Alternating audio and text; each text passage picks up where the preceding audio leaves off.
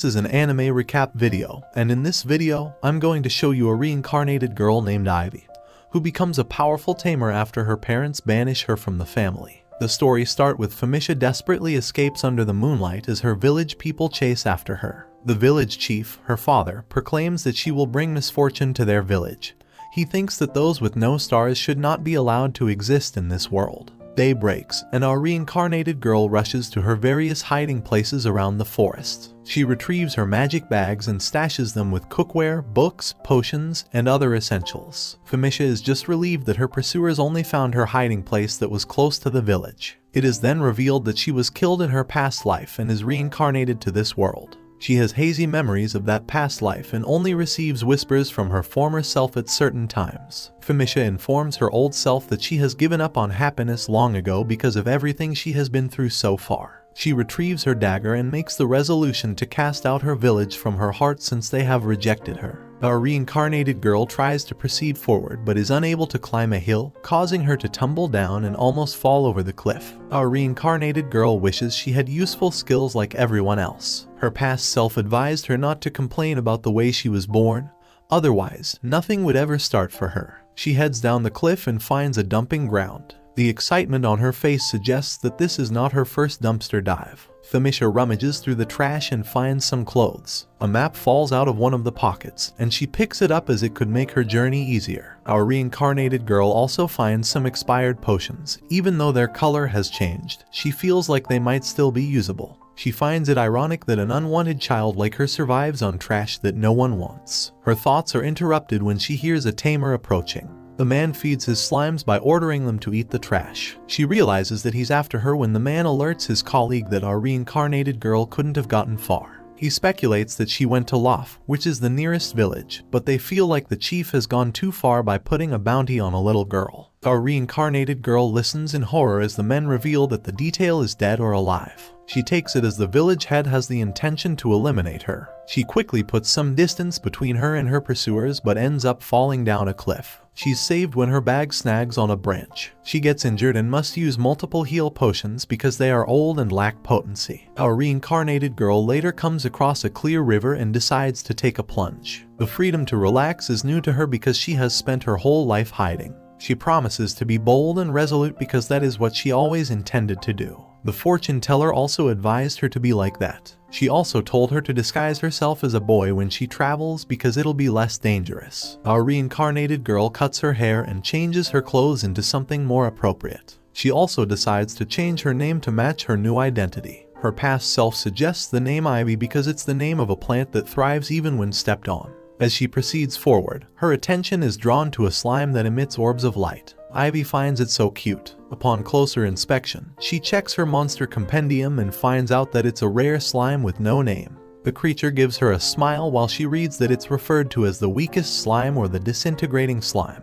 It's the weakest of its kind, just like her, so she resonates with the creature. A sudden light breeze of wind blows the slime across the meadow. She reads that the slime is so weak that it can disappear with just a poke. It will also disappear if the wind blows too hard. She carefully helps it up as it struggles to reorientate. She learns its lifespan has been confirmed to be under a day because it's so weak. A look of sadness is seen on her face after hearing this. This due to rare encounters and their short lifespan. Everything about them remains unknown. A stronger gust of wind blows the slime again, but Ivy saves it before it falls into the river. She decides to stay with it since it is destined to disappear. That night, Ivy reveals that humans in Origo receive skills when they turn 5 years old. Her father has 2-star carpentry and processing skills. Her mother has 2-star needlework skills and a 1-star mending skill. The gods decide the skill and the number of stars one gets. Everyone's future is decided by these standards. When Ivy was 5, she received a taming skill, which is the ability to tame monsters and win them over. Unfortunately, she didn't receive any stars. Our reincarnated girl is a starless tamer. She can't even tame small animals, not to talk of monsters. Everyone in the village's attitude changed when they found out. Even her kind father and mother gave her the cold shoulder. Her place of belonging was gone.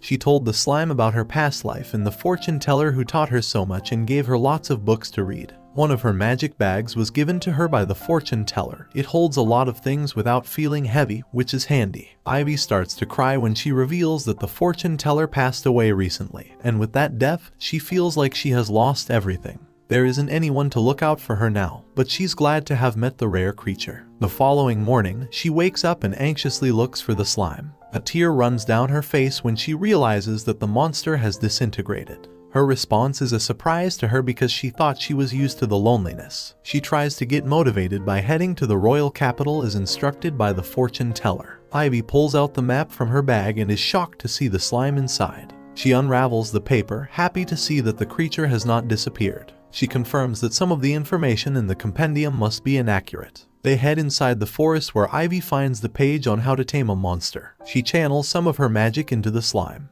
It glows because it has accepted her. At this stage, she names the monster Sora, and a mark appears on the forehead of the rare creature indicating that the taming was successful. She happily holds the creature and introduces herself as she's excited to get to know it better. She later lays a trap and captures her 10th field mouse. She shows her appreciation for its sacrifice before butchering it. Ivy wonders why her past self always gets startled every time she dresses her prey. She begins to wonder what her lifestyle was like in her past life. As Ivy speculates, she neatly packs the broken down meat into leaves. She informs Sora that they will feast that night. Our reincarnated girl has taken a page from Mota's book as she keeps her slime stashed in one of her bags too. Ivy gets her map out again, but the royal capital is not even depicted on it because it's so far away from her current location. So she decides to head to the town of Otwa first. A sudden breeze comes in again and almost blows Sora away, but Ivy catches him in time.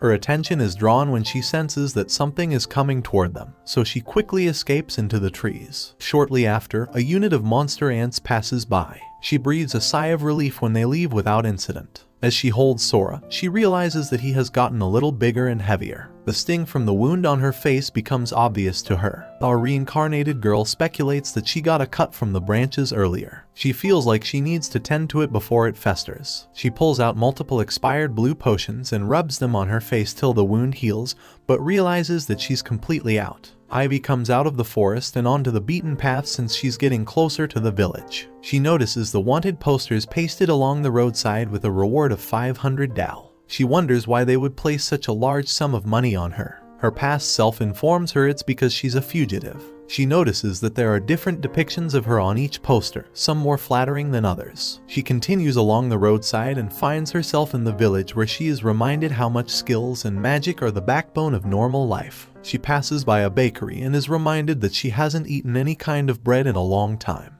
Ivy also passes a butcher and gets the idea to sell the field mice she hunted earlier. However, she's a little timid to approach. The butcher notices this and calls her over before she removes the meat. He already knows that it's field mice because he has a 2-star odor skill. He inspects it and is happy with the freshness of her catch and her butchering skill. She presents the rest of her wares, which are bought for 100 dal. The butcher is more than happy to buy more if she catches them because all the other hunters are targeting big game these days. She heads to the bakery and buys some bread and is surprised by how cheap it is. The owner finds her naivety cute. The people in the village assume that she's a boy. This means her disguise worked perfectly. Ivy goes somewhere quiet to enjoy her bread. She gives half to Sora, but the slime doesn't want it. She learns that the creature means no when it spreads itself out. She wonders what type of food this rare slime eats. The following day, Ivy goes into the forest and gets a large haul of field mice. As she returns to town, she comes across a dumping ground where she finds plenty of expired potions. As she sorts them out, Sora jumps on the pile of blue potions and ingests them.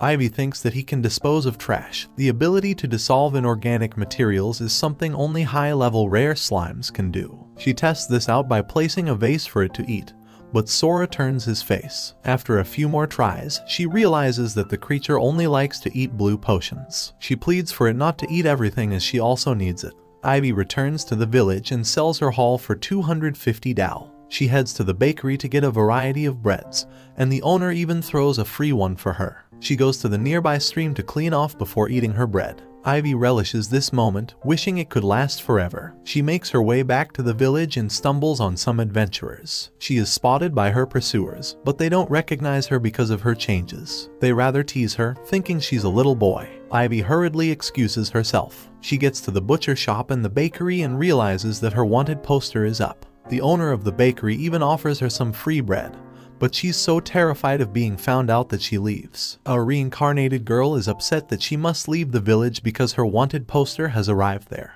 What pains her most is that the people were so nice. The following day, she proceeds to her next destination since her hunters have caught up with her. Ivy later arrives at a crossroad and wonders which way her trackers went. Sora tries to hint something at her, but she doesn't understand. Ivy now regrets not taking the free bread offered to her because now she's hungry with nothing to eat or drink because she left in such a hurry. She picks her path and hears water along the way. Ivy even finds a tree with the most delicious type of fruits. As she approaches, Sora does his disapproving gesture while shivering. The reason comes apparent when the tree turns into a monster spitting out her pursuers. The tree lunges at her with one of its roots, but Sora knocks her out of the way just in time. She manages to get to safety, but she loses strength due to the wound she sustained on her arm. As she loses consciousness, our reincarnated girl notices Sora jumping on the wound and thinks that her slime is eating her since some digest people. Ivy looks at the slime and believes that it will eat him, but realizes that she is an unwanted child and there's no place for her in this world, so she should probably be dead.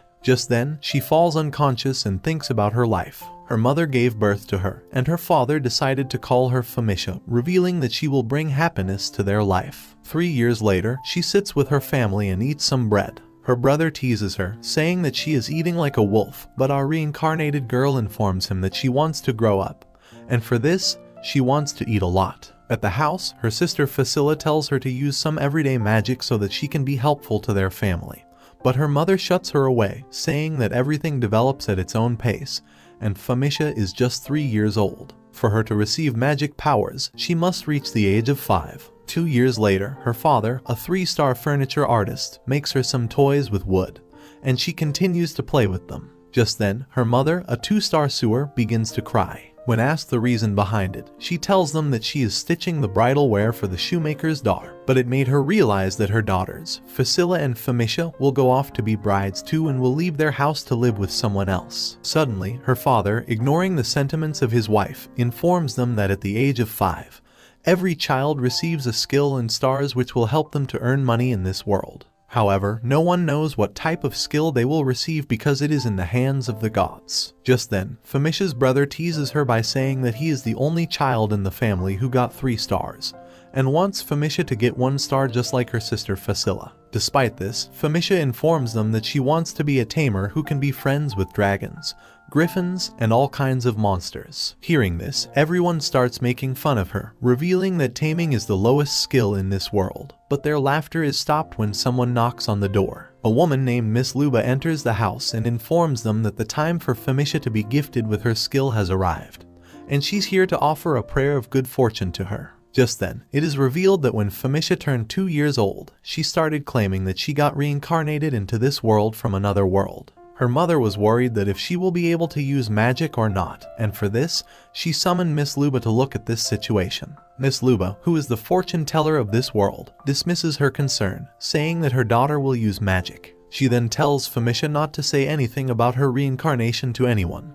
Otherwise, people will make things very difficult for her. At present, Miss Luba looks at her and reveals that she will be gifted with a wonderful skill. When asked what kind of skill she will get, Miss Luba informs them that she has only a one-star foresight skill, which means she cannot see quite far. The next day, the family heads to the headquarters of the village where every child with the age of 5 gets their skills. There, the priest asks her to enter her finger into the holy water of the gods. Upon doing that, the priest reveals that she has been awarded a tamer skill. Feeling happy this, her parents begin to enjoy her daughter's skill, but their moment is cut short when the priest, with a horrified look, informs them that she has no stars, which means she has a starless tamer skill. Her father, shocked at this, asks the priest to look at the holy water of the gods again, believing that there must be some mistake. However, the priest brushes it off, saying that if they speak any further on this, they will be blessed with the wrath of the gods. After the priest leaves, they head home, and her father cannot stop thinking about why his daughter is born with no stars, while his other son and daughter have three and two stars. His wife, Famisha's mother, tries to calm him down, stating that there must be a mistake. Instead of listening to her, he starts questioning her loyalty to him, saying that Famisha is not his daughter and she must have an affair with someone else. This causes her to fall to the ground and cry. Famisha tries to help her mother out, but her brother grabs her from her arm and throws her out of the house. She asks for her sister and her father's help, but they turn their backs on her. After being thrown from her house, she runs into the chief of the village, who informs other villagers that a starless girl is in their village, and if they don't kill her, then the wrath of the gods will soon be upon them. Hearing this, Famisha starts running away, but some kids hit her with stones, causing her to bleed heavily from her head. After running for so long, she enters the nearby forest and begins feeling hungry. She tries to eat some berries, but due to heavy rain, she runs away to the nearby cave. There, she tries to make fire to save herself from the cold but ends up falling unconscious after using the magic multiple times. After waking up, she sees Miss Luba sitting in front of her. Miss Luba informs her not to use magic multiple times, otherwise, she will lose her life because of her weak body. She also informs her that her foresight already told her that this will happen to her, but she wasn't able to see why she ended up like this. She then gives Famisha her bag and book, telling her that whatever she puts in the bag will become light, and the book contains magical information which will help her as long as she is alive. She then tells her that one day, she will set off on a journey to see the world with her own eyes and broaden her perspective. And when she does, she tells her to go to the town neighboring the royal capital. There, if she finds a place for herself to live without any trouble, then there is no need for her to travel anymore. She then continues that if she finds any friends, then she must tell them about herself and having no stars because it will help them to believe in her, and when the time comes, they will become her allies and fight alongside her. Just then, Famisha asks Miss Luba why she is so nice to her while the others hate her and even tried to kill her. To which Miss Luba informs her that long ago, no one had skills or stars, but they still worked with each other and lived happy lives. Hearing this, Famisha feels happy and vows to do her best. A few days later, Famisha starts feeling lonely as Miss Luba stopped paying visits to her. Famisha, feeling hungry, traps a mouse and she starts eating it. Just then, she hears someone approaching her hideout and wonders how they know her hideout. She follows them to the town, and upon reaching the headquarters, she is shocked to hear that Miss Luba has died due to a cold fever. She feels bad at this, revealing that Miss Luba was the only person in this world who was nice to her. Just then, she sees her father approaching the chief of the village. The village chief tells him that he told Miss Luba multiple times to stay away from the starless girl. But she didn't listen to him, and due to this, she got cursed by the starless girl and died. Therefore, he wants no more casualties in the wrath of the gods and tells him to kill her daughter. Hearing this, Famisha's father agrees and decides to kill her daughter, revealing that there is no place for a starless girl in this world. Not wanting to believe that her own father wants to kill her, Famisha cries with heavy pain, and before they can kill her, she wakes up to find Sora jumping on her body. Shocked at this, our reincarnated girl wonders how she is alive but realizes that Sora has a healing ability and due to this, he healed her wounds. Just then, Sora starts speaking, causing our reincarnated girl to cry and believe that she is not alone anymore and she has someone who she can talk to. The next day, as Ivy woke up from her sleep, she was greeted by the caretaker of the adventurer field, who wished her good luck for her trip to the forests. Ivy thanked him for his kind words and went to the city, believing that the caretaker didn't realize she was a girl. On the way, she met a lot of adventurers who asked her about her health and told her if she needed any help, she just had to ask.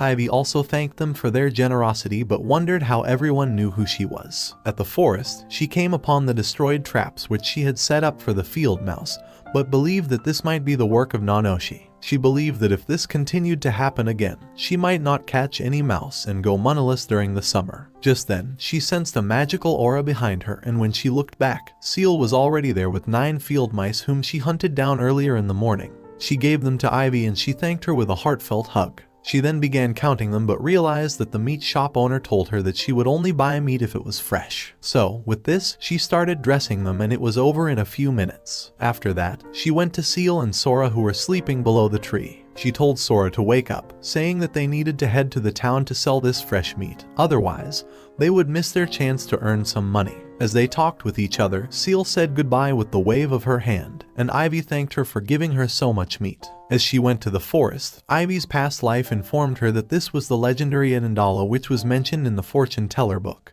But Ivy believed that it wasn't savage like it mentioned in the book. Our weak reincarnated girl then went to the village and sold all the field mice to the meat shop. The owner couldn't believe since all the meats were fresh and weren't gamey at all, and asked Ivy about her secret. However, Ivy with hesitation did not respond, causing the owner to realize that despite being a child, she has a good head on her shoulder and does not want to reveal her trade secret. With buying all the meat, she gave her 855 dal in exchange, And before leaving, she told Ivy to bring back field mice to her if she caught any in the field, and she would gladly buy them. Hearing this, Ivy thanked her for her kindness and left. On the way, she again met the same adventurers who asked her about her visit to the forest and how did it go.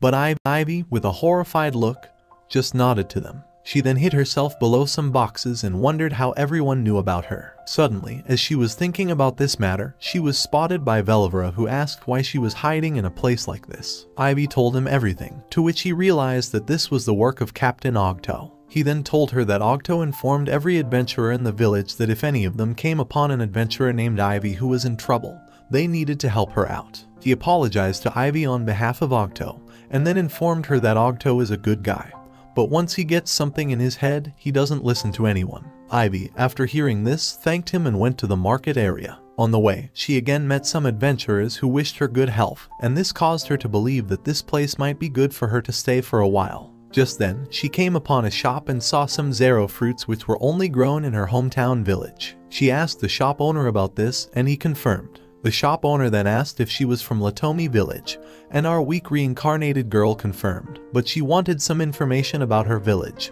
so she asked him out. The shop owner informed her that the situation in the Latomi village was not good. Mistress Luba, who had always protected the Zero Crops Latomi village and was the fortune teller of the village, has died away. He revealed that this was all because of their idiot village head, who didn't like her, and when she fell ill, he didn't give her any medicine. This revelation brought back the words of the two women who she heard in the church saying, How can someone die with this cold at this time of the year? With this revelation, she realized that Mistress Luba's cause of death was not because of sickness, but she was killed at the hands of the village head.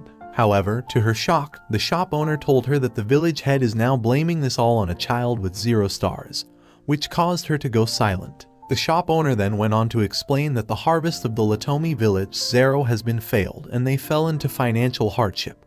And with this, the village head has been trying to reduce the number of mouths to feed. Some of the villagers rebelled, took their families, and left the village, and others, who defied the head, were thrown out of the village. With all this revelation, the shop owner asked Ivy how she ended up in this town, to which she told him that her family sided with the village head and that caused some problems. And due to this, she ran away. Hearing this, the shop owner gave her a zero fruit and encouraged her to do her best, and she happily agreed. That night, she was thinking about her family and her village, and how they fell into the drastic situation, but then realized that she now has some friends who are kind to her, and most importantly, she has the memories of her past life. With this, she ate the Zaro fruit and revealed that this was the flavor she tasted when she was little. Suddenly, the past memories of Mistress Luba flooded into her mind, where the fortune teller told her to go to the neighboring town of the royal capital, and our weak reincarnated girl realized that she needed to remember this memory. The next day, after waking up, she again met the adventurers from yesterday, but this time, she greeted them with happiness and told them that she would do her best in the forest today. At the forest, she set some traps for the field mice, but suddenly sensed the movements of people. She asked Sora to quickly get inside her bag, and he obliged, but to her shock, the people were the same adventurers who tried to bully her a few days ago. They cornered her and asked her to give them her slime, believing that it was very rare. Ivy hesitated and ran away, she trapped one of the adventurers to her traps but the girl was too fast, and she quickly caught up to her. They then held her in their arms and asked her to give them her slime. Ivy again hesitated, but this time, the leader took out a knife and told her that if she did not give them what they wanted, he would not hesitate in killing her. Just then, they got shocked after seeing an Indala behind their back. Seal approached them, and seeing the legendary monster in front of their eyes, one of the adventurers passed out. The other one tried to run away but Seal caught up to him with her immense speed and then kicked the hell out of him. She then handed them over to Ivy, who thanked her for saving her life. Just then, Seal sensed something and headed back to the forest. It was Ogto and Velivera, who were patrolling the forest and hurried here after hearing a monster's roar and human screams. They asked about her health and she revealed she was fine, however, they got shocked after seeing the Three Stars adventurers unconscious. At the Adventurers Guild, Ogto told her that the captured adventurers were wanted criminals in some crimes including a murder, and the Adventurers Guild was investigating them, but they did not have any proof about them. However, due to her help, they got them now, and for capturing those three stars criminals, she would be paid with reward money. Just as Ivy was wondering about this, Ogto informed her that the Adventurers Guild pays 5,000 Dal for an average criminal, 2 Giddle for a murderer, and for two murderers, they also offer a reward of one ladle each. With this, he told her that she would receive two ladle and three gittle. Our weak reincarnated girl, shocked at this, wondered what she should do. But Ogto presented her the reward money and told her to register an account in the trade guild, revealing that carrying this large amount of money would lead her to trouble. He then took her to the trade guild and registered her in it. The trade guild gave her a white plate, and Ogto informed her with that plate she could withdraw her funds at the trade guild in any village or town. Our weak reincarnated girl thanked him for his kindness, but was met with the ferocious look from Velivera, who upon arriving, told Ogto that he was looking for him and then scolded him for wandering around without telling him. They then told her about this town's signature dish, a Nanoshi skewers, and wanted to treat her with it, to which Ivy happily agreed. They headed to town's famous shop and ate the Nanoshi skewers, which Ivy found very delicious. The shopkeeper who was making this Nanoshi skewers revealed that she holds a 4-star cooking skill, and there aren't many in this town who have a 4-star skill. Hearing this, they began talking about each other's skills and asked Ivy about hers. Ivy revealed that she has tamer skill, but when asked how many stars she has, our weak reincarnated girl got silenced. This caused the adventurers to realize that they shouldn't have asked her this question.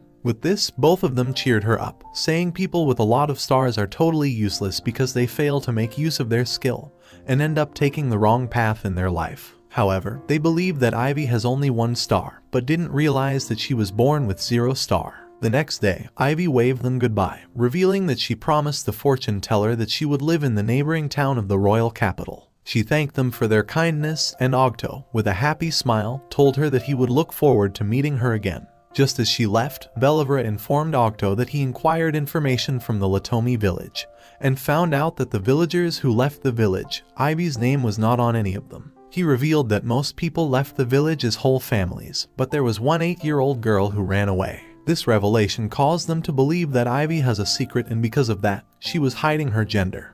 Guys, please do 3000 likes and subscribe to support the channel. Please, it will help me create more videos. The next day, as they headed to the next city, Sora ran ahead with full of energy and Ivy chased him. She told him to slow down, but he didn't listen.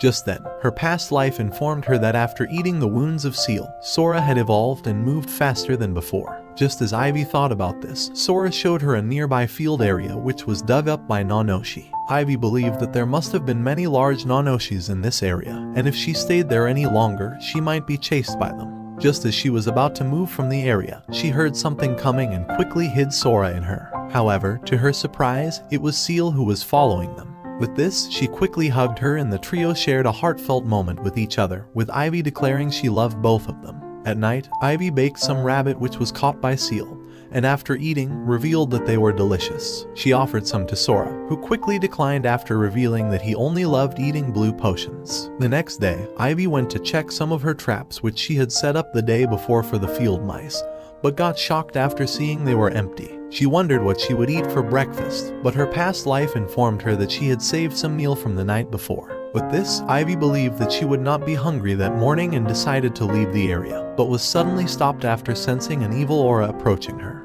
She wondered what it could be, but then started running away from it. The evil aura chased after her, and just as it was about to get her, Ivy looked at it and saw a shadow of a human body. Suddenly, Seal came to her rescue and yelled at it with a ferocious roar, which caused the shadow person to immediately run away. After that, as they headed to the city, Ivy thanked her for saving her life, saying that without her, she might have been dead right now. Suddenly, Seal stopped after seeing some ogres coming towards them. She quickly threw Ivy from her back and attacked one of the ogres. She then bit him with her long teeth, and the ogre slipped away from the mountain, but since Seal was on top of his body, she also fell with him and into the below water stream. Seeing this, Ivy was worried about her, but then saw another ogre coming after her and quickly ran away. Just then, she came upon an evil place where some skeletons were hanging on the top of the trees. She wondered what this place was and decided to run away, saying that if she stayed there, she might be killed. Just as she was about to leave the area, she was captured inside a trap set by the ogres earlier. She yelled for help, but no one listened, not even her savior seal,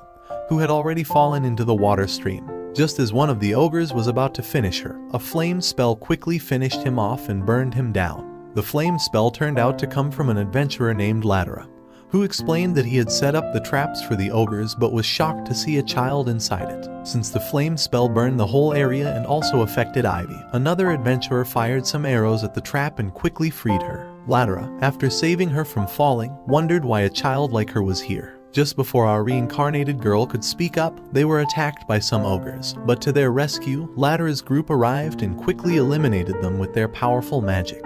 With the fight over, Ivy saw two big slimes which were protecting them both, and wondered how a slime could be so much bigger, but got blown away after the adventurers revealed their identity. They revealed that they were assigned here to eliminate the ogres who were recently spotted here, and then apologized to her for letting her get caught up in their business. However, Ivy thanked them instead, saying that they had saved her life. With this, they introduced themselves as a group of adventurers called the Blazing Sword, including their group leader Sazalk, Nauga, Shifale, Latera, and Mila. She also introduced herself as Ivy, but due to her boyish get-up, they didn't realize she was a girl. On the way, the adventurers were shocked after hearing from Ivy that she was on her way to Otolwa from Ladome village. They didn't believe her at first, but after hearing her story, they told her to come with them as there were some monsters in this area. And they were also heading to Otolwa village. Hearing this, our reincarnated girl happily agreed and then walked with them. After that, they came upon a cliff and Sazulk showed her their camp, revealing that the remaining adventurers were residing there. Just then, she spotted something below the cliff, which turned out to be Seal, who was alive after falling from the mountain cliff. Ivy felt happy that Seal was alive, but thought that if the adventurers found out about her, they would immediately kill her. So, with this, she told Seal not to come here and hide somewhere else, and our tamed monster quickly agreed.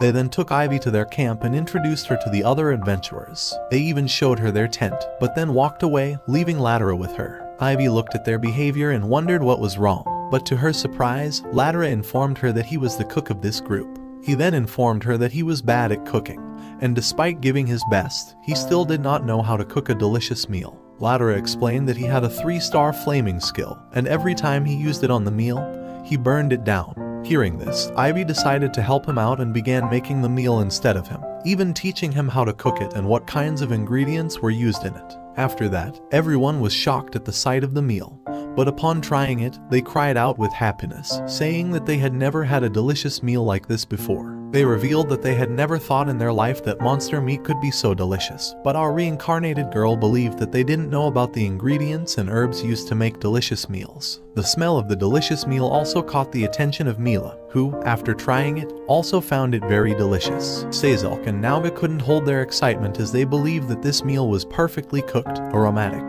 and truly delicious. With this, Shifale thanked her on behalf of his group for making such a tasty meal, but then realized that it was Latera's duty to make a meal. He quickly scolded him for putting all the weight on Ivy's shoulders, but Ivy immediately shut him down, saying that they made it together, and Latera was the one who adjusted the heat of the fire for her, and because of that, they were able to make a delicious meal. This revelation saved Latera's life who, with excitement, fired some fire spells at the sky, which turned out to be fireworks. Just then, Ivy's past life informed her that fireworks could become more beautiful with flame color reactions and metallic elements. Just as she was hearing this, Mila asked if she was alright, and Ivy informed her that if they had varieties of metal, they would be able to make even more beautiful flames with them. Mila showed her some medals and asked if she was talking about them, to which Ivy happily said yes. Now that she had acquired all the medals, she put them inside some clothes and asked Latera to shoot those upwards and burn them the way he did it earlier. Latera happily obliged, and it turned out to be the most beautiful sight in their life. With excitement, Latera threw all of them into the sky and the sky was filled with the beautiful scene they had never imagined in their life.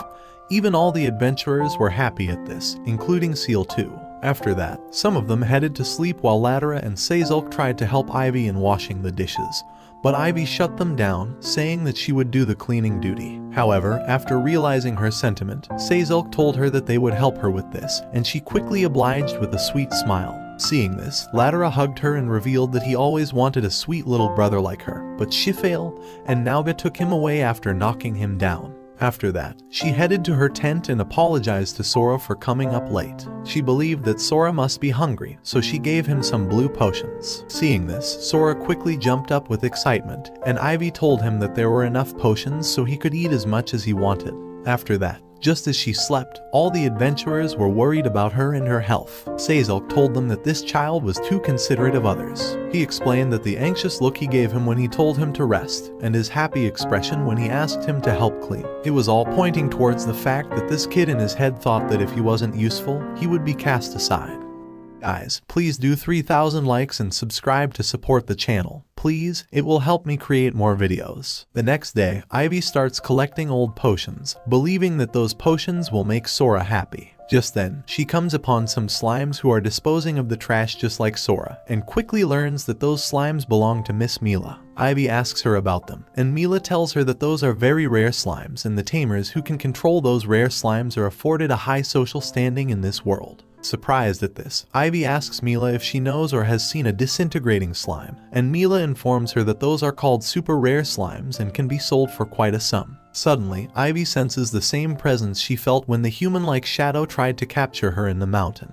But the presence quickly vanished away when the adventurers group put all of their trash in front of her. They inform Ivy and Mila that they have eliminated all of the ogres in this area, and have completed their mission, so now they are returning to Otolwa. Happy at this, Ivy treats them with the meal she made with her hands, and upon eating it, all of them feel happy to be alive from those delicious meals and ask Ivy how she can make such yummy dishes. However, Ivy is worried about Seal after listening from the adventurer party that they eliminated all monsters in this area.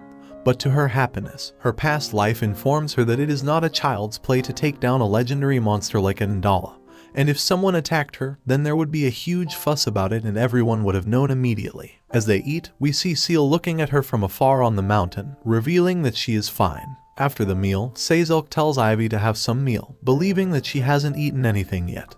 But Ivy assures him that she has already eaten her meal, and if she eats more, her stomach would probably explode. Just then, Mila arrives with her brothers, and Ivy, upon looking at them, wonders how they look so similar. Mila introduces them to her and tells her that they are her twin brothers Tolto and Malma, and belong to the adventurer group Green Gale, whom she is the leader of. As they greet Ivy, they offer her to join their group, but Latera shuts them away and after hugging Ivy, tells them that he is going to be their little brother. However, Sazilk knocks him down with a punch of his own, just then, the twins see some adventurers heading their way and quickly leave along with their sister. Ivy asks what's going on, and Latera informs her that those adventurers belong to the Lightning King group and the Green Gale group does not feel comfortable around their captain Borolda. He greets Ivy and tells Sazilk to escort her to the Otolwa village, to which he happily obliges, revealing that this was their plan from the beginning, to which our reincarnated girl feels happy about it. At night, Ivy gives all the potions she collected to Sora,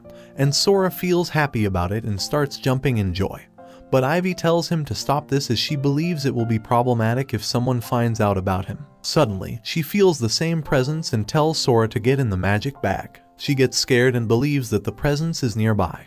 But before it gets even closer, Latera comes into her tent and asks for her help in making tomorrow's breakfast to which our reincarnated girl happily obliges. Just as he leaves, Ivy thinks about that presence and wonders what this could be. Just then, Sora begins to behave like the one when he saw that person with the illegal alcohol, and those murderers came close. Seeing this, Ivy believes that Sora has some kind of power to detect an evil person, and she tells him about the adventurers, and Sora jumps in joy after hearing their name. However, when she tells him about Miss Mila, Sora starts giving her the scary look, which, upon seeing, Ivy realizes that it could be Miss Mila who is following her. The next day, they arrive at the Otolwa village and one of the town's registrars tells her to add her name in the town's book. Ivy asks if it's okay to not add her hometown's name, but when they insist, she tells them that she is from Latomi village. Hearing this, the registrar knows what's happening in the Latomi village and asks if she has someone who is serving as a guarantor for her. Ivy gives them Captain Ogto's name and they are shocked to hear this, but when she gives them the white plate she got after registering her name at the trade guild, they believe in her words and the registrar quickly gives her the permit to enter Otolwa town.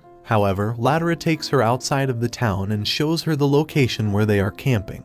But when asked why they are outside, Sazilk tells her that they have something important to share with her. Sazilk informs her that there is a danger lurking inside the town and the forest surrounding it, and it's not about the monsters. Borolda then explains that there is a criminal organization in the Otolwa village who is abducting people and selling them into slavery. He reveals that they got this information while being out from the village and tried to find their location but someone told them about this and they quickly deserted their hideout. Ivy asks if the organization will come after her, to which Borolda informs her that the organization is specifically after the children, and a child like her, who is traveling alone, will be the perfect mark. Ivy gets shocked at this and wonders what she should do, but Borolda tells her to stick with their group until they find a way to destroy this organization. Just then, Sazok says that the organization doesn't do anything to expose itself and hopes to find some sort of clue. Suddenly, our reincarnated girl tells them that she was targeted and chased by them. Hearing this, one of the adventurers stops her and then activates a barrier magic with the help of a magic item. They reveal that this magic item is very rare, and when it's activated, no one can hear the words coming from it. With this, Ivy tells them that when she was in the forest, some presence chased her and tried to capture her. But when a monster appeared nearby, the presence ran away. She also tells them about what happened last night with Ladera, and everyone starts blaming him, believing that he is the culprit behind all this and is the one who is abducting other people. However, Ivy informs them that it is not Ladera, revealing that she has a strong sense to detect presence, and with a heavy heart tells them that she suspects Miss Mila from the Green Gale. All the adventurers get shocked after hearing Mila's name coming from Ivy's mouth and ask if she is sure about it. Ivy says she is, but in her mind, thinks that she cannot reveal Sora's identity to them as he was the one who told her about Mila. At night, Ivy tells Sora about this and wonders what she should do. But to her surprise, Sora tells her that it is okay to tell them about him. This revelation brought back some of her old memories when the fortune teller told her that when the time comes, she will need allies who will fight by her side. And it is okay to tell them about her truth as secrets could become the reason behind people losing their trust in her. The next day, as she tries to tell them about Sora, they inform her that they have found a darker side of Mila, including her brother too. One of the adventurers explains that after Ivy told them about her, he tracked her movements and spotted all three of them in a secret talk with a traveling merchant. And when the merchant left, he asked them about the merchant, but they pretended, saying that he was lost and they only gave him directions. He reveals that Mila and her brothers were also using the magic item like them to hide their voice, believing that their secret business discussion must have warranted the use of it. Shifale explains that he went to the trade guild and looked into the traveling merchant, and found out that the merchant was here in this town for the first time and isn't conducting any business of note here. Hearing this, the adventurers believe that the merchant must be after something rare and valuable, otherwise, he must not have come to this town for just a random item. This revelation also triggers sadness in them as they all considered Mila as their friend. They also thank Ivy for this, revealing that she was the reason behind their lead, but to their surprise, Ivy asks if they really believe in her words. Laudera tells her that she didn't know them but still made food for them which was quite delicious, and this reason is more than enough for them to believe that Ivy is not someone who would lie to them. Hearing this, Ivy cries and believes that she is nothing to them, but still, they believe in her. Just then, she tells them that she is a tamer and the one who told her about Mila is a slime whom she tamed. She then shows Sora to them, and upon looking at it, they reveal that they haven't seen this kind of slime in their life, which is not only rare, but can talk too. Ivy also tells them that it has the ability to see through bad people, and upon looking at it, the adventurers believe that they cannot share this information with others. Otherwise, if the villains learned about this, Ivy would become their first target. Suddenly, her past life informs our reincarnated girl that this is the best thing she has done in a long time. Guys, please do 3000 likes and subscribe to support the channel. Please, it will help me create more videos. After introducing Sora to the adventurers party,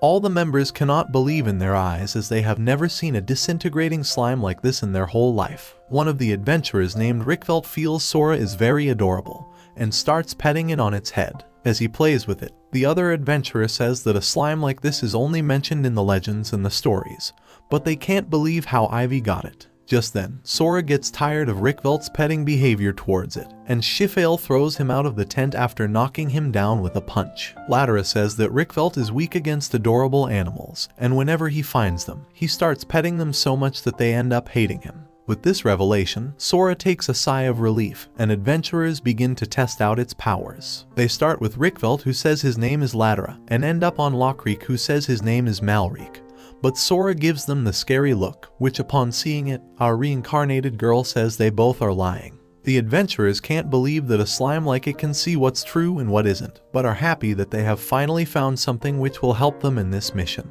They reveal that in the past, when they tried to capture the members of the organization, the traitors among them always leak their plan. but now believe that since Ivy is on their side, they will soon capture them. Suddenly, as they plan to capture Mila and her twin brothers, Ivy feels sadness and tells Ladera she can't believe Mila is a bad person. The other adventurers also cannot believe it too as they only think of her all this time as their friend. Even Rickvelt reveals he will capture her with his own hands as he wants to ask her about her cruel side. Borolda tells him to withdraw from this mission as it will prove very painful for him, but Rickvelt still insists as he is focused on getting his answers. Ivy then asks about the organization and when they started kidnapping people. Borolda says it all started 10 years ago. At first, the townspeople thought that the kids were going missing because they had fallen victim to monsters. But seven years ago, the adventurers confirmed the existence of the organization when they took over the escaped victims into their protection. Our reincarnated girl believes that 10 years is a long time, and if the organization has been active for that long, it means they are not just one, but many traitors in this town. Sazilk says he believes in Ivy's words and reveals that the last time they tried to capture this organization, they only ended up finding themselves in an empty building. Sazilk says only a handful of people were aware of their advancements and the Green Gale group was among them, but they only found out after the raid. Borolda apologizes to everyone, revealing that he was the one who brought them to this group because they were endorsed by a member of the nobility. Hearing this, Ivy asks if the noble and the Green Gale are friends, but Borolda tells her they are not, and the Green Gale only solved a problem that the noble had which led the noble to recommend their promotion to high-level adventurers. Ivy asks if it's common for the nobility to recommend adventurers for higher promotions, and Borolda says it's unusual because most of the nobility look down on adventurers. Ivy then asks how many jobs they completed for this noble, and Borolda reveals only one, which led them to believe that they were also assigned for the job by the noble ones, but he didn't recommend their name for the higher promotion. With this, they realize that the noble was only using them so that he can see if they will become his allies or not. They also call each other idiots and believe that they are not fit for being adventurers as they didn't even notice a simple matter which only a 7-year-old child did. Hearing this, Ivy tells them with an angry face that she is 9 years old and today is her ninth birthday. With this revelation, everyone starts clapping for her and wishing her a happy birthday, even saying next time they will celebrate her birthday properly and with celebration. Ivy, with a happy face, thanks them for this and thinks to herself that she didn't remember how many years it has been since anyone said happy birthday to her. Ladera still cannot believe Ivy is 9 years old and is so good at cooking, but Ivy reveals to herself that this is because of her past life. Just then, Borolda tells everyone that if the traitor is among the nobility, that means they have to be ready for the consequences that will come after the revelation. Sazilk asks for Ivy's help and tells her that he will introduce her to Guildmaster and the other high-ranking adventurers, and her job is to tell him if he can trust them or not. Ivy agrees to his plan and heads to the Adventurers Guild. There, they meet the Guildmaster Rogleaf, captain of the Watch Berksby, and the vice captain Agrop, and upon seeing them with its own eyes,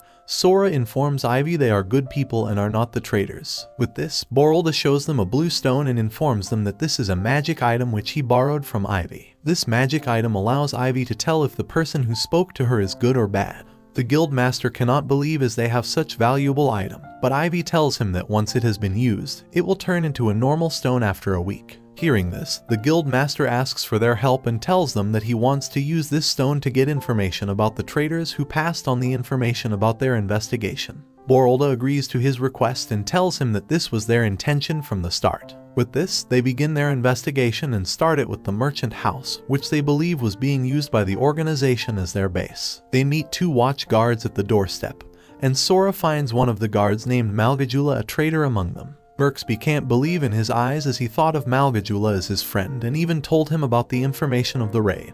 After checking on 157 watchmen, they come to realize that 37 of them are traitors. They can't believe how many spies are among them, but get surprised after a visit from Count Faltoria and Lord Foronda. Faltoria greets everyone including Ivy, but when he goes near her, Sora informs Ivy that Faltoria is also a traitor. Ivy tells Borolda about this and reveals Foronda is not among them. As they leave, Borolda informs everyone about this and they can't believe a noble like him, who is also a hero to this town, is involved in such a guilty task. With this revelation, they believe that he must be the leader of the organization and all of their failed missions and the deaths of their friends are all because of him. Just then, Berksby cries and reveals he was the one who gave him the information, and believes all of his friends were killed because of him. But Borolda calms him down, saying that only people who are responsible for their death are the evil organization. He informs everyone to gather themselves as they need to catch them as soon as possible. But Sazelk, upon looking through a window, reveals that they are being watched. He explains that when Count Faltoria entered this room, he was only accompanied by Lord Foronda instead of the watchmen, and this only means that the watchmen were assigned to not leave their post at any cost. Sazelk believes they are hiding something in this base, but Berksby says they have checked every corner of this base and still find nothing. Just then, Ivy asks about Malvigula and where he was assigned to earlier search. She believes that Malvigula must have received orders from the organization and reported to the guild master that there were no issues in rooms that had issues. Hearing this, they head to the suspected room which was being guarded by Malvigula himself and orders him to watch over the other room. They look over the entire room, but still find nothing about the organization. Just then, Ivy's past life informs her that in the movies, people use trick bookcase in the room. Ivy wonders what movies are, but after seeing only one book whose corner of the spine was scuffed, she touches it with her hand and opens a new path behind it. There, they find boxes filled with gold and can't believe their eyes how much money the organization has collected so far. They even find out all the details of kidnapped people and kids and come to the realization that all the mission people were held in this base before being sold.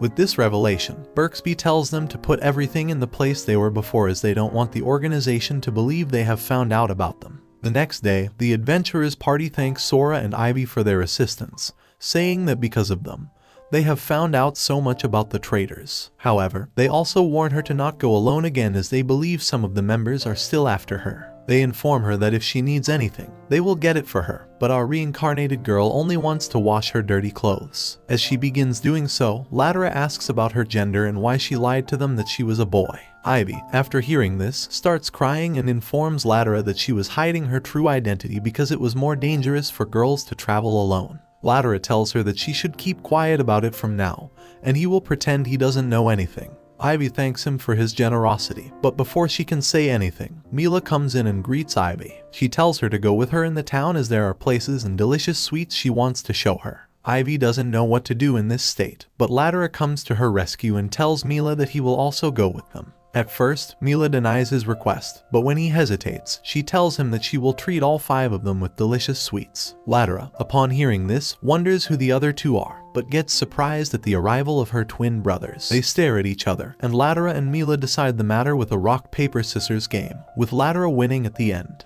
He then cancels the visit to Memroko and decides to head to Flaflo to eat something sweet. There, they meet the owner of the shop, who is a three-star cook and gives them his shop's best dish, which upon eating, everyone finds very delicious. The twin brother wants a second bowl as they find the dish very yummy, but Mila and Latera stop them, saying that they should take more to enjoy the sweet dish. Latera even gives them a demo, but our reincarnated girl finds it very creepy. Latera then asks the twin brothers about their sudden invitation, and they reveal that they heard a lot of good things from their sister about Ivy and want to know more about her personally, and that's why they decided to invite her. As they look at Ivy, Sora gives her a scary look and informs her that these people are very dangerous, and they are up to something very bad. Ivy gets scared at this revelation, but despite this, she still sits with them and pretends that she doesn't know anything about them. Just then, Latera takes out his sword and declares that if any of them try to harm Ivy, he will make sure that none of them will walk on their feet again.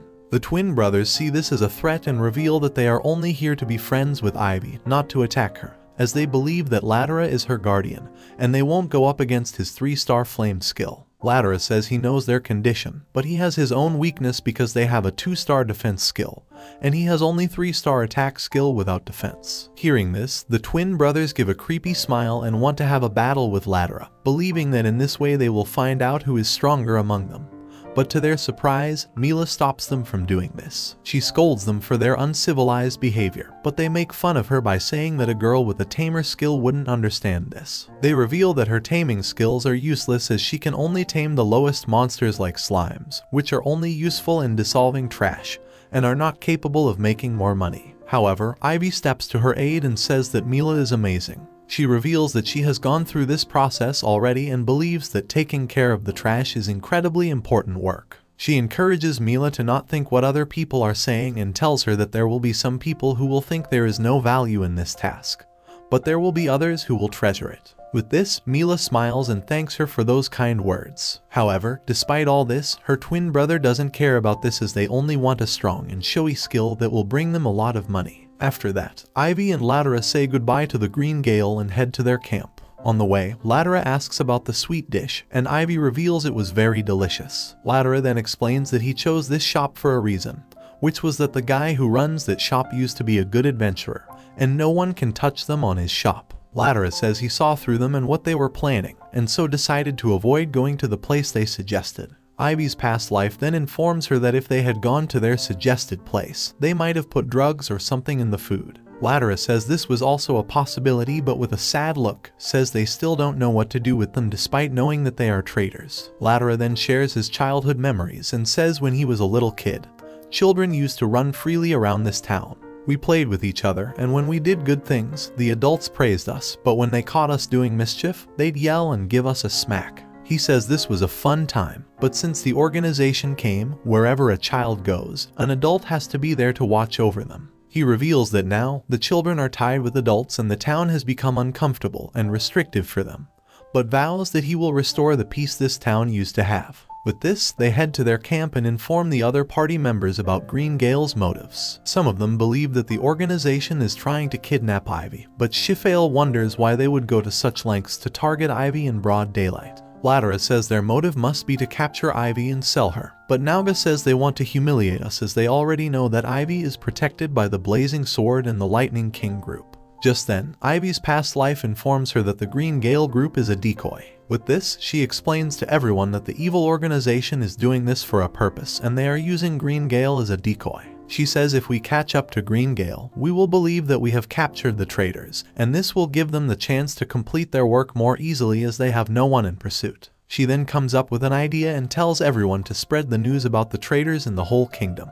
She believes that in this way, the organization will try to do everything in their power to not leak any of the information about their plans and will try to retrieve all the money and the documents they have left at the base. She says this will give us the chance to capture them. But Oranga says this might not be a good idea as in this way Mila and her brothers will become wanted criminals across the kingdom, and they won't be able to be adventurers anymore. Ivy believes they must be using Mila and her brothers as sacrificial pawns, and once their role as a decoy is done, they will try to keep them quiet. Hearing this, Latera gives a worried look and wants to inform Mila about this, but Sezalk stops him from doing that, as he does not want to reveal their plan to them. Just then, Ivy says she wants to become a decoy, and then bait Green Gale to come after her. She explains that if we give them false information, like security at the base will be relaxed, they will come to retrieve the money and documents, and we will use this to capture them. Sazalk and Borolda say this is a good plan but they do not want to put Ivy's life in danger, and if they fight them head on. They don't know how many traitors are among the adventurers, and in this way, they won't be able to guarantee her protection. However, Latera shuts them down by saying that he will protect Ivy with his life. With this, the Blazing Sword and the Lightning King group decide to follow Ivy's plan and tell everyone to start spreading the false information about the base. But Nauga and the others still feel they don't know much about the traitors among adventurers and wonder how they will know about them. Just then, Ivy comes up with another plan and tells everyone to introduce her to all the adventurers as she will use Sora's powers to detect who is a traitor and who is on their side. She says we will use a magic item to put the enemy to sleep when they try to retrieve the money and documents, and if our allies get caught in this, there won't be any problem since sleeping magic will not finish them off. Borolda and the others like this idea, but they still can't make up their mind as they do not want to put Ivy's life in danger. However, Ivy says this is their last chance to capture the organization as they still don't know about Sora and its powers. With this, Borolda agrees to her idea and tells everyone to get ready as they will strike the organization soon. He informs Guildmaster Rogleaf about their plan, who gathers all the adventurers upon his request. He introduces Ivy to all the adventurers and tells them that the Adventurers Guild has been charged with guarding Ivy's safety. He tells them to introduce themselves one by one to Ivy as he wants everyone to remember her face, and when she is in danger, they come for her aid. With this, Ivy begins looking at the adventurers and finds most of them traitors. In the meantime, Agrop and Captain Berksby share a deep conversation with each other. Berksby says he witnessed a smile on Borolda's face after so many years. He reveals that after the arrival of the organization, we have been troubled by the organization's crimes and grown weary of them. He explains that we tried to corner them many times, but they fled away every time, and because of that, we have witnessed many casualties and some of them were our friends. Berksby says Borolda was among us who has lost everything because of this organization, but now he believes times are changing, and this is because of Ivy who has brought a smile not only to Borolda, but to himself too. Just as he finishes his thoughts, Shifale and the others come in and tell him to gather some adventurers as they need to go to the forest to eliminate a vicious monster. At first, Berksby wonders what they are talking about as they have already eliminated all the monsters near the town, but then realizes that it's a plan to counter the evil organization. He tells Agrop to go along with their plan and he happily agrees. As he leaves, Berksby asks Shifale about their plan but Shifale says he will not reveal it to him as he believes there are people who might be following them. Just then, Gabajula arrives and tells Berksby about Agrop who is gathering men for the monster raid. But Berksby says he told him to do so. Valga says this might not be good as he believes that the organization will try to attack this base when they are gone and suggests Berksby to tell Gabajula to pick some men for the base. Berksby agrees to his plan and tells Gabajula to do so, who immediately agrees after hearing it. Just as he leaves, Berksby again asks Shifale about their plan, and Shifale shows him the magic item which is used to put people to sleep. He reveals that they are planning to capture the traitors, and for this to work, they need to put their allies to sleep as well. Berksby can't believe that Borolda and the others have come up with this insane idea, but to his surprise, Shifale says this is Ivy's idea. With this, Gabajula gathers all the required adventurers and Borolda feels happy that everything is going according to their plan. Berksby says he placed some allies in his group as he believes that most of the men Gabajula picked for guard duty are traitors. While the other traitors among the Agrop group, Borolda says he will take them as far as he can, in case if they run riot, they won't be able to harm the townspeople. On the other side, Mila thanks Ivy for standing up for her and invites her for another sweet meal. And this time, she wants to go to Mamaroko, to which Latera and Ivy happily agree. With this, they head to Mamaroko and Latera tells our reincarnated girl to prepare herself as they are entering inside the belly of the beast. Inside the Mamaroko shop, our reincarnated girl Ivy can't decide what to pick as there are so many sweets, but Mila suggests she should go for the Danzu. Latera stops her from doing this as he reveals Danzu is very dangerous, and one bite of it makes the person faint. Mila says it will be fine and informs the shop owner to prepare Danzu for each. Latera tries to stop the shop owner and tells him to cancel the order, but the shop owner, named Mr. Hack, tells him that this is Ivy's first visit to his shop, and she has the right to experience the sweetness of Danzu. Just then, as Mr. Hag heads to prepare the sweet Danzu, the slime informs Ivy that Mr. Hag is also a bad guy. With this, she informs Latera about this, and they start their plan. Latera tells the Green Gale group that the reason he came to this sweet meal is that he has something to share with them. Just as he starts telling them about the mission, Mr. Hag closely listens to their conversation. Latera then reveals that a special unit of watchmen and adventurers is being put together to head to the forest for a special mission. He explains that when they are gone, the security in the town will be shorthanded, and this will give the organization the chance to attack the base. At first, the Green Gale group couldn't believe this and asked for the reason behind their sudden departure. Latera says they have spotted an Ogre King and ogres in the cave near the forest, and the special unit is heading there to eliminate them. With this, Latera asks for their help, revealing that their talent is extraordinary and they will be a big help, and the trio happily agrees to his request. Just then, Mr. Hag hears this and quickly puts sleeping potions into two of the five bowls of Danzu. He gives them to Ivy and Latera, and he quickly leaves the shop and runs away to the town. A reincarnated girl, Ivy, sees this and tells Latera to proceed to their next step. With this, Latera quickly reveals his true intentions and asks the Green Gale about their connections with the organization and why they are helping them out. At first, the group can't believe what he is saying, but when Latera gives them the mixed bowls to eat, they finally reveal their true faces. Mila tells her brothers to stop this, as she can't do this anymore, but the twins don't listen to her words and take out their weapons to attack Latera. Latera says he does not want to fight them, but the twins begin attacking him with a sword and knife. However, they are no match for Latera, who has a 3-star attack skill while they have a 2-star defense skill. Latera attacks one of the twins with his flame spell to teach them a lesson, but the other twin blocks it away with his water spell. They feel horrified at Latera's powers, but despite this, they believe that they can still take out Latera and then try to attack him. Just then, Mila takes out her slimes and sends them towards her brothers, causing the slimes to dissolve their knife and sword. This gives Latera an opening, and he quickly takes them out with his own sword. Our reincarnated girl Ivy, who is seeing all this, can't believe what Mila had done and asks the reason behind this, and she apologizes to them while revealing that she was tired of all this. Instead of punishing her, Ivy thanks her for her help and reveals that because of her, they are alive now. Suddenly, the owner of the Flawflo shop comes in and asks Latera about the mess they have created. Latera tells him that the twins are members of the organization and asks for his help by taking them to the Adventurers Guild. In the meantime, the members of the organization raid the base and start attacking the guards. Some of them show the sign of the organization to one of the guards, who is revealed to be a traitor and also a member of their organization. They ask him to take them to the library. The guards do so and give them directions, but they don't realize that some of the guards are with the guild master and they are watching them. With this, the head of the organization, Count Faltoria, comes into the room and informs his members to take out all the money and documents as soon as possible before the special unit's arrival. The members do so, but they get shocked after seeing a magic item inside the room, which is revealed to be sleeping gas and quickly spreads throughout the whole base. The noble and all the traders try to run away, but they fall into the special unit's trap and quickly fall asleep. In the meantime, Berksby and Agrop lead the traders to the front, while Sazelk and Borolda lead from the back. On the way, they believe that the traders are trying to take them out with a surprise attack, but they don't know that we already know about them.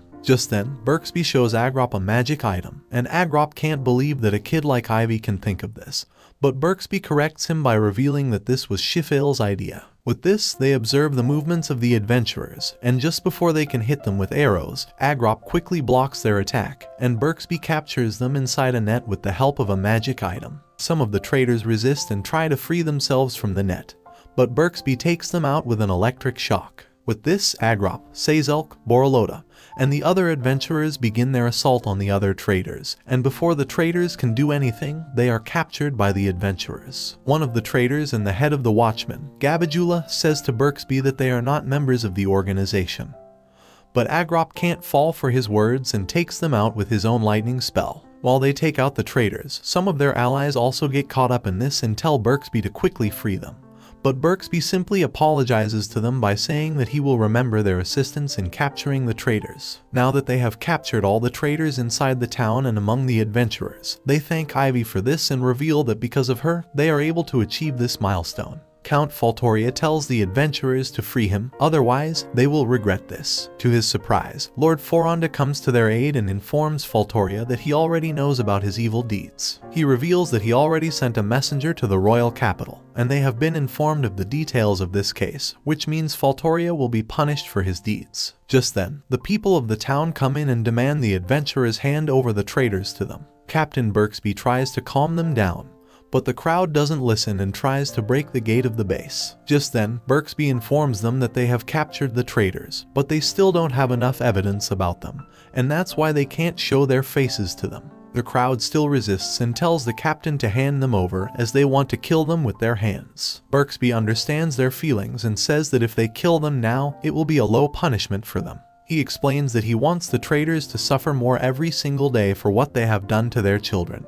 And for this, he will send them to slavery. He reveals that slaves are sent to a harsh place, a place where they can't even choose to die.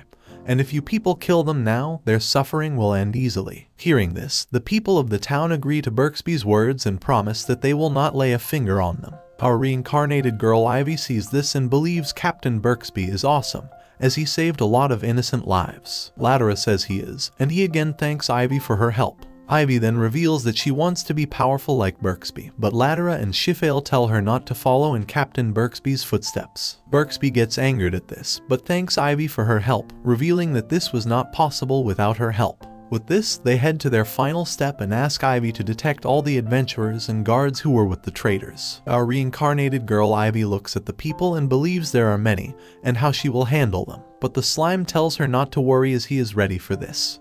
Like and comment if you enjoy this video. Subscribe to my channel for more anime recaps, and tell me what anime recap you like to see next in the comments below.